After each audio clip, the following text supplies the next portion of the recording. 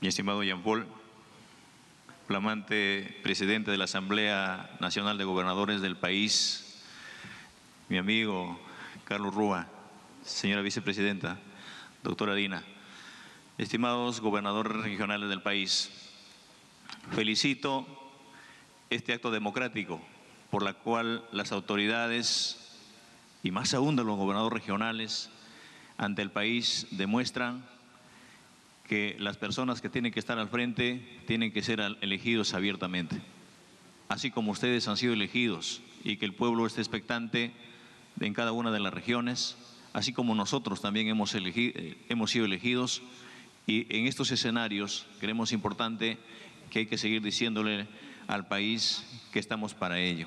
Felicitaciones y le auguro no solamente éxitos en la gestión, sino también éxitos en el trabajo democrático, éxitos en este trabajo abierto, en un trabajo de equipo. Entiendo de que cuando hay una elección, las minorías tienen que saber entender que son las mayorías las que ganan. Y esto es, esto es a la cual saludo. Y en ese marco, mi estimado presidente de la Asamblea Nacional, Vengo acá con ese mismo espíritu a decirle de que yo soy una persona que siempre he venido bregando como maestro en las calles, diciendo de que se descentralice los recursos para el país. Yo me someto a la Asamblea Nacional para tomar una reunión inmediatamente y asumamos ya para ir no solamente, y nos sentamos juntamente con, con todo el gabinete, con todo el gabinete ministerial. Ahora, a unas horas, en unas próximas horas, el día de hoy, vamos a juramentar al nuevo gabinete ministerial con ese compromiso de que miremos a las regiones. Y desde acá creemos importante manifestarles de que el día de ayer también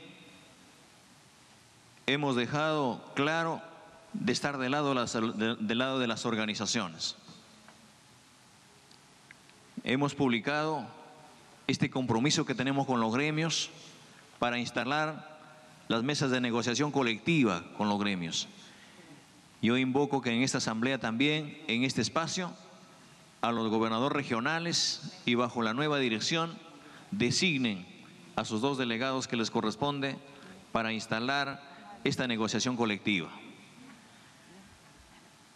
El día de mañana estamos asumiendo un compromiso inmediato también con la región de Amazonas.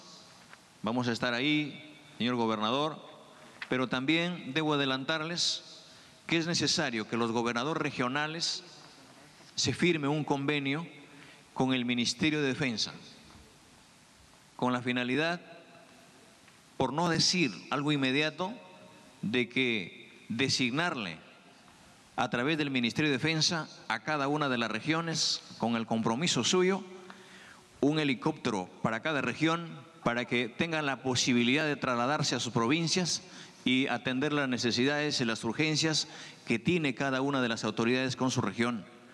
Era una propuesta que recibí de un gobernador y la hemos hecho nuestra y la estamos convocando y la estamos haciendo con la finalidad de que las emergencias en cada región no pueden estar siendo más emergentes. Tenemos que atender a la población. Y en ese marco creemos importante decirlos también de que juntamente con ustedes vamos a atender a las, a las poblaciones más vulnerables, a los trabajadores, y aquellos hombres y mujeres que lucharon y que hoy están buscando una, una reivindicación justa, como es el caso de los hermanos fonavistas.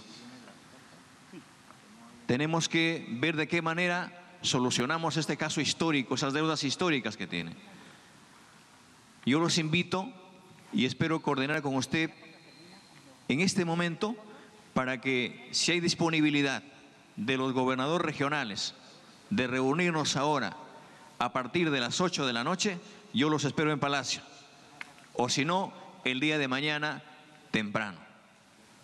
Es cuestión de que nos pongamos de acuerdo.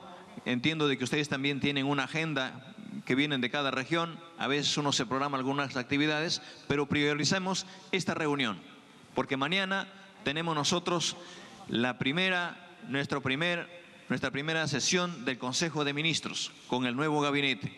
Y queremos que la agenda de los gobernadores regionales ya mañana se debata y se discuta para de una vez actuar y trabajar de cara a los gobernadores regionales. Y los proponemos en todo caso de acá también para que los proyectos de descentralización, estos proyectos que están en procesos de litigio, estas obras que están trabadas y que los he visto preocupados a los gobernadores regionales cuando bajamos a su región. Y esto hay que hacerla de qué manera? De manera conjunta.